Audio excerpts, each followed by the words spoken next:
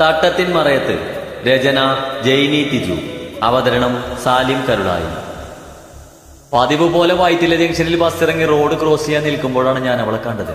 ഇളനീല ചുരിദാറും സ്വർണ നിറമുള്ള തട്ടം ഭംഗിയായി തലയെ ചുറ്റി പിൻ ചെയ്ത വെളുത്ത് കൊരുന്നതിനുള്ള ഒരു അസലും ഉമ്മച്ചുകുട്ടി ഏതാണ്ട് അഞ്ചരടി പൊക്കം കാണും. തുടുത്ത മുഖം തിളങ്ങുന്ന നീലക്കണ്ണുകൾ ആരോ പറഞ്ഞ പോലെ ആശാനെ പിന്നൊന്നും കാണാൻ പറ്റൂല. ഈ എറണാകുളത്ത് ജോലി ചെയ്യാൻ തുടങ്ങിയിട്ട് വർഷം ഏഴായി. ഒരുപാട് പെൺകുട്ടികളെ ദിവസവും കാണുന്നതാണ്. ആരും ഇതുപോലെ ഒറ്റ നോട്ടത്തിൽ ആകർഷിച്ചിട്ടില്ല. കസവിന്റെ തട്ടമിട്ട് ഒരു ബാത്റൂം സിംഗർ പോലും അല്ലാത്ത എനിക്കെന്താ ചുമ്മാ പാട്ടൊക്കെ മനസ്സിൽ വരുന്നു? ഇവിടുത്തെ എങ്ങോട്ടാണാവോ? പാടിക്കുന്ന കുട്ടിയാണോ? അതോ പലയിടത്ത് ജോലിയാണോ? പേരെന്താണാവോ? വീട്? ഒരുപാട് ചോദ്യങ്ങൾ ഒറ്റയടിക്ക് മനസ്സിൽ വരുന്നു. അടങ്ങിന്റെ ആലോചി നീ ഇതെന്താ പെണ്ണുങ്ങളെ കണ്ടില്ലാത്ത പോലെ? എന്റെ മനസാക്ഷി ഉള്ളിൽ നിന്ന് എന്നെ കളിയാക്കി. വൈറ്റിലുള്ള ഒരു ട്രാവൽ ഏജൻസിയിലാണ് എനിക്ക് ജോലി. അത്ര വലിയ സ്ഥാപനം എന്നല്ലെങ്കിലും മുതലാളി ഒരു ഗവൺമെന്റ് പണക്കാരനാണ്. മുതലാളിയുടെ പി എ കം ഡ്രൈവറാണ് ഞാൻ. ലോങ് റൂട്ടൊക്കെ പോകുമ്പോഴേ ഐസക് സാർ എന്നെ കൊണ്ടുപോകാറുള്ളൂ. അല്ലാത്തപ്പോ സ്വയം ഡ്രൈവ് ചെയ്യുന്നതാണ് അങ്ങേർക്ക് ഇഷ്ടം. പറയുമ്പോ എല്ലാം പറയണല്ലോ. അങ്ങേർക്ക് ചില ചുറ്റിക്കളിയൊക്കെ ഉണ്ട്. അതുകൊണ്ടാണ് കൂടുതൽ യാത്രകളിൽ എന്നെ കൊണ്ടുപോകാത്തത്. എന്നെനിക്കറിയാം. ഞാനിതൊന്നും പുറത്ത് പറയാറില്ല. അതിന് തക്ക തുക ശമ്പളത്തിന് പുറമെ എനിക്ക് കിട്ടാറുണ്ട്. നമുക്കിപ്പോ എന്താ നമ്മുടെ കാര്യം നടക്കണം. കാശുള്ള പലതും കാണിക്കും. അത് കണ്ട് നമ്മൾ തുള്ളിയിട്ട് എന്ത് ഗുണം? നമ്മൾ സാധാ ഒരു തൃശ്ശൂക്കാരൻ ഐസക്കിന്റെ ഭാര്യയെ കാണണം. പൊന്നുപോലൊരു ചേച്ചി. ഇതിനെ കളഞ്ഞിട്ട് പല്ലവന്മാരെ പുറകെ പോകുന്ന ഇയാളൊക്കെ മാടൽ വെട്ടി അടിക്കണം. വീട്ടിൽ സ്വർണം വെച്ചിട്ടെന്തിന്? തേങ്ങാക്കുല. ദേ വീണ്ടും പാട്ട്. ഓഫീസിൽ നിന്ന് കയറിയിട്ടും ജോലി ചെയ്യുന്നതിനിടക്കും മനസ്സിലാ പെൺകൊച്ചിന്റെ മുഖം തന്നെ. അതിനെ ഇനി കാണുമാവോ എങ്ങനെങ്കിലും വളക്കണം. അല്ല വളച്ചിട്ട് ഇപ്പൊ എന്തൂട്ടിനാ? വീട്ടിൽ ചെന്ന അമ്മച്ചി വെട്ടുകത്തി എടുക്കില്ലേ? ആരപ്പ ഈ ലോകത്ത് ജാതി മതം കണ്ടുപിടിച്ചത്? ഒരു ജാതി ഒരു മതം ഒരേ ആചാരങ്ങൾ. ആർക്കും ആരെയും വിവാഹം കഴിക്കാം. ആഹാ എന്താ അന്തസ് ഇതിപ്പോ ഒരുമാതിരി വൃത്തികെട്ട ഏർപ്പാട്. ആ അങ്ങനെയൊക്കെ ഒന്ന് പറഞ്ഞ് സമാധാനിക്കാം. രണ്ടു ദിവസം പിന്നെ അവളെ കണ്ടില്ല. ചെറുതായൊരു നിരാശ തോന്നാതിരുന്നില്ല. അവൾ ഇവിടുത്തെ കാര്യമല്ല. അവളെന്തെങ്കിലും ആവശ്യത്തിന് വന്നതാവും. അങ്ങനെ എത്രയോ പേര് നമ്മൾ ദിവസവും കണ്ടുമുട്ടുന്നു. അങ്ങനെ ചിന്തിച്ച് ആശ്വസിച്ചു. പക്ഷേ എന്നെ ഞെട്ടിച്ചുകൊണ്ട് പിറ്റേ ദിവസം അവൾ ഓഫീസിൽ കയറി വന്നു. ഞാൻ ചിരിക്കണ കരയണമെന്ന് അറിയാതെ നിന്നു. കുട്ടിക്ക് വിദേശത്ത് പോകാൻ ഒരു ചാൻസ് അന്വേഷിച്ച് വന്നതാണ്. പത്ത് വരെ പഠിച്ചിട്ടുള്ളൂ. ബ്യൂട്ടീഷ്യന്മാർക്ക് ഗൾഫിൽ നല്ല ചാൻസ് ഉണ്ടെന്ന് കേട്ടിട്ടുണ്ട്. ഇപ്പൊ ബ്യൂട്ടീഷ്യൻ കോഴ്സ് പഠിക്കുന്നുണ്ട്. പാസ്പോർട്ടും അത്യാവശ്യം ഡീറ്റെയിൽസും കൊണ്ടുവന്നിട്ടുണ്ട്. അതെല്ലാം കാണിച്ച് എന്നോടാണ് വിവരം ചോദിച്ചത്. കാണാൻ കാത്തിരുന്ന ക്ലാവിന്റെ അഡ്രസ്സും ഫോൺ നമ്പർ അടക്കം. ദാ എന്റെ കയ്യിൽ കർത്താവേ നീ ഇത്രക്ക് വലിയവനും. ചുമ്മാ ഞാനൊന്ന് കുരിശു വരച്ചു. റിസ്വാന മനോഹരായ പേര്. വേണമെങ്കിൽ ചുരുക്കി റിസു എന്ന് വിളിക്കാലോ. എന്നാലും എന്റെ കുട്ടി നിനക്ക് വിസ അന്വേഷിച്ച് വരാൻ ഈ എറണാകുളത്ത് ഈ ട്രാവൽസ് ഏജൻസി മാത്രമേ കണ്ടുള്ളൂ. കൊള്ളാവുന്ന എത്ര ഏജൻസികളുടെ സ്ഥലം അത്? ഞാൻ മനസ്സിലോർത്തു. വേറൊന്നും കൊണ്ടല്ലോ എന്റെ മുതലാളി സ്ത്രീ വിഷയത്തിൽ അത്ര ശരിയല്ലാത്തതുകൊണ്ട് തന്നെ. എന്റെ കുട്ടി അങ്ങനെ പോലെ ആൾ കാണിക്കാന്ന് വെച്ചാ പിന്നെ ഞാൻ ജീവിച്ചിരുന്നിട്ട് കാര്യമില്ലല്ലോ. പിന്നെ ഐസക് സാർ ഇവിടുന്ന് കയറ്റി വിടുന്ന പലർക്കും അവിടെ പറയുന്ന ജോലിയൊന്നും കിട്ടില്ലെന്നും പണത്തിന് വേണ്ടി എന്തും നേറികെട്ട പണിയും ചെയ്യുന്ന പരമദ്രോഹിയാണ് അയാളെന്നും മറ്റാർക്ക് അറിയില്ലെങ്കിൽ എനിക്കറിയാലോ. അങ്ങനെ ചതിക്കപ്പെട്ടവരുടെ ചോദിക്കാൻ വരുന്ന ബന്ധുക്കളെ അയാൾ ഒതുക്കുന്ന രീതി ഞാൻ കണ്ടിട്ടുള്ളതാണല്ലോ. പിറ്റേ ദിവസം അവൾ വന്നു. അതെ വിസ ശരിയാകാൻ കുറെ പ്രോസസ് ഉണ്ട്. അതിനിങ്ങനെ ദിവസവും വരണമെന്നില്ല. ആവശ്യമുള്ളപ്പോ ഇവിടുന്ന് വിളിക്കും. ഞാൻ അത്ര സന്തോഷമില്ലാതെയാണ് അത് പറഞ്ഞത്. അത് ചേട്ടാ സാറ് വിളിച്ചിരുന്നു. എന്തൊക്കെ കുറച്ച് ഡോക്യുമെന്റ്സ് കൂടി ശരിയാക്കാനുണ്ടെന്ന് പറഞ്ഞു. അവളെ നിഷ്കളങ്കമായി ചിരിച്ചു. ഓ ഇങ്ങനെ ചിരിക്കാതെ വച്ചേ. ചുമ്മാ മനുഷ്യനെ കൺട്രോൾ കളയാനായിട്ട്. എന്തുട്ട് മാങ്ങാത്തൊരു ഡോക്യുമെന്റ്സ് ആണ് ഇയാൾ ശരിയാക്കുന്നത്? അല്ല റിസ്വാന അതിപ്പോ കോഴ്സ് കഴിഞ്ഞ വഴി വിദേശത്ത് ജോലി എന്നൊക്കെ പറയുമ്പോ കുറച്ച് നാൾ ഇവിടെ ജോലി ചെയ്ത എക്സ്പീരിയൻസ് ഒക്കെ ആയിട്ട് നോക്കുന്നതല്ലേ അതിന്റെ ഒരു ചേട്ടനെ അറിയാഞ്ഞിട്ടാ ഇവിടെ നല്ല ജോലി കിട്ടാനുള്ള ബുദ്ധിമുട്ട്. കുടുംബം ഭയങ്കര കഷ്ടത്തിലാണ് ചേട്ടാ. ഞാൻ എവിടെയെങ്കിലും പോയി രക്ഷപ്പെട്ടാലേ കുടുംബത്തിന് കാര്യമുള്ളൂ. എത്ര കഷ്ടപ്പാടുള്ള ജോലിയാലും കുഴപ്പമില്ല. നരസിംഹ മന്നാടിയാരുടെ ഛേ ഈ ആലോചി എബ്രഹാമിന്റെ ഭാര്യയൊക്കെ നിനക്ക് സമ്മതാണോ? എന്ന് ചോദിക്കണുണ്ടായിരുന്നു പക്ഷെ ധൈര്യം വന്നില്ല. ഐസക് സാർ എത്ര നല്ല മനുഷ്യനാ. എനിക്ക് വിസക്ക് ഇപ്പൊ പൈസ വേണ്ടെന്നാ പറഞ്ഞിരിക്കുന്നത്. ജോലി ചെയ്ത് പതുക്കെ വീട്ടിയാ മതി അദ്ദേഹത്തെ പോലെ നല്ല മനുഷ്യർ അധികം ഉണ്ടാവില്ല ചേട്ടാ. പറയുമ്പോ അവളുടെ കണ്ണു നിറഞ്ഞു എന്ന് എനിക്ക് തോന്നി. ആലവരാതി പാണി തുടങ്ങി കഴിഞ്ഞിരിക്കുന്നു. കൊച്ചെ ഇതൊക്കെ അയാളെ സ്ഥിരം നമ്പറാ. ഇതിലൊന്നും വീഴല്ലേ? ചാതിയനാണ് അയാൾ. വിശ്വസിക്കരുത്. ഇത്രയെങ്കിലും പറയണ മരപ്പൊട്ട എന്നെ മനസാക്ഷി എന്റെ ഉള്ളിൽ നിന്ന് എന്നെ തന്നെ ചീത്ത വിളിച്ചെങ്കിലും ചുമ്മാ ചിരിച്ചു കാണിച്ചുകൊണ്ടിരിക്കാൻ എനിക്ക് കഴിഞ്ഞുള്ളൂ. അതിനിടയിൽ അയാൾ ഇറങ്ങി വന്നതും അവളെ വിളിച്ചുകൊണ്ട് അകത്തേക്ക് കയറുന്നതും കണ്ടു. ഇതിനിടയിൽ എന്നെ തുറിച്ച് നോക്കി പേടിപ്പിക്കാൻ അയാൾ മറന്നില്ല. രണ്ടും കൽപ്പിച്ച് അവളുടെ എല്ലാം തുറന്നു പറഞ്ഞാലെന്ന് ആലോചിച്ചു. അവളെ കെട്ടണമെന്നെങ്ങാനും വീട്ടിൽ പറഞ്ഞ അമ്മച്ചി ഒരു സീൻ ഉണ്ടാക്കും എന്നത് ഉറപ്പാണ്. അള്ളാഹു നമുക്ക് അറിയാത്ത ആളൊന്നുമല്ലല്ലോ അമ്മച്ചി. എന്നൊക്കെ ചുമ്മാ പറഞ്ഞു നോക്കാന്ന് മാത്രം. നടക്കുമെന്ന് തോന്നുന്നില്ല.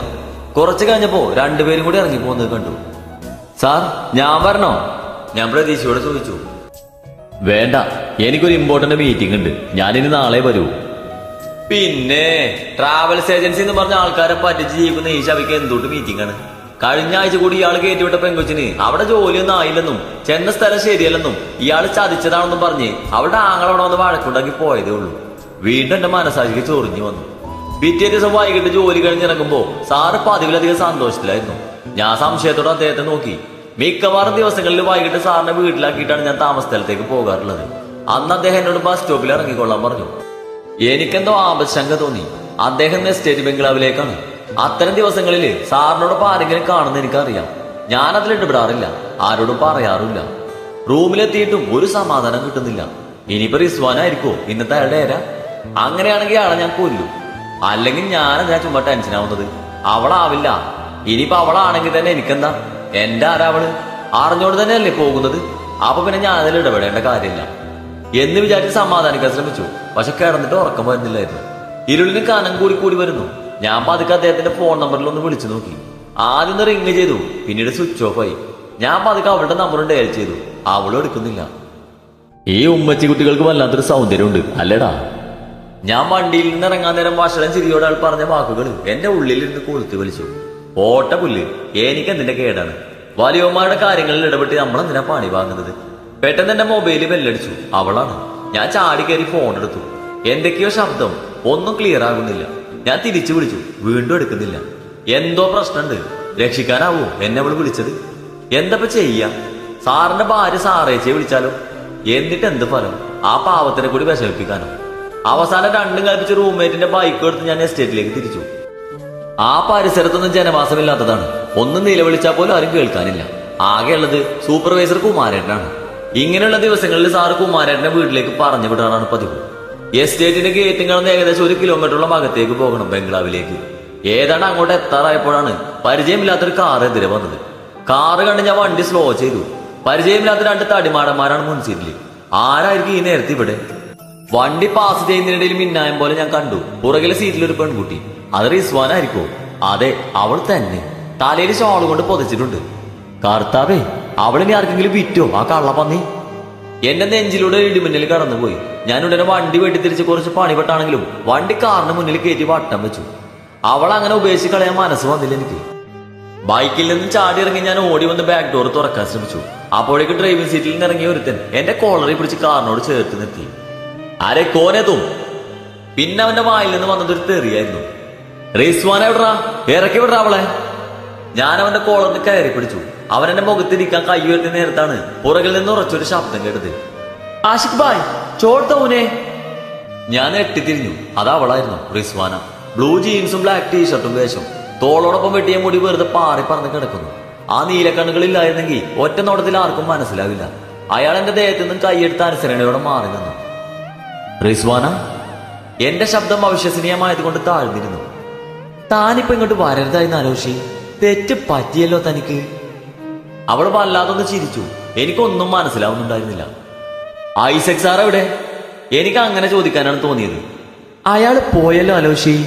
ചെയ്തു കൂട്ടിയ പാപങ്ങളുടെ കുറ്റബോധവും പേറി അയാൾ ഒരു ആത്മഹത്യക്കുറിപ്പ് എഴുതി വെച്ചിട്ട് അല്പം മുമ്പ് വിഷം കഴിച്ച് ആത്മഹത്യ ചെയ്തു. പാപത്തിന്റെ ശമ്പളം മരണമാണെന്ന് പഠിച്ചിട്ടില്ല അലോഷി? അവൾ വികൃതമായി ചിരിച്ചു. ഞാൻ ഞെട്ടിത്തരിച്ച് നിൽക്കായിരുന്നു. ആരാ നീ? എന്തിനാ നീ ഇങ്ങനെയൊക്കെ? ഞാൻ വിറക്കുന്ന ശബ്ദത്തിൽ ചോദിച്ചു. ഞാനും നിന്നെ പോലെ വെറും ഒരു തൊഴിലാളിയാണ് ആലോചി കിട്ടുന്ന പണത്തിന് ജോലി ചെയ്യുന്ന കൂലി തൊഴിലാളി.